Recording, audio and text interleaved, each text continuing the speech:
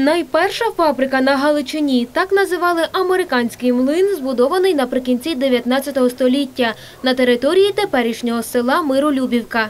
Цікавим є те, що він досі працює, і це не єдина особливість села, яке колись називалося Чортория, і чия історія сягає декількох століть.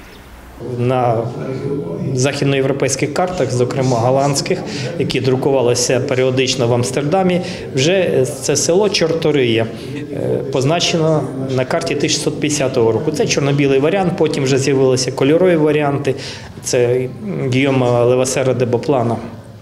Відповідно, 1670-1680 роки, і позначено воно як Чортория. Ще у 1585 році у селі діяла церква святого Димитрія Мечника. У ній був іконостас, феретони та ікони із підписами майстрів.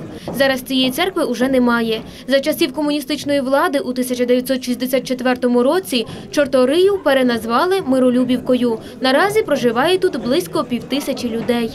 Приміське село, більшість людей їздять е, е, і в Миколинці на роботу, і до Тернополя. Хто, хто як має, і так само є багато іммігрантів. Водночас миролюбівці завжди пам'ятають про рідне село та намагаються зберегти його багато історію для майбутніх поколінь.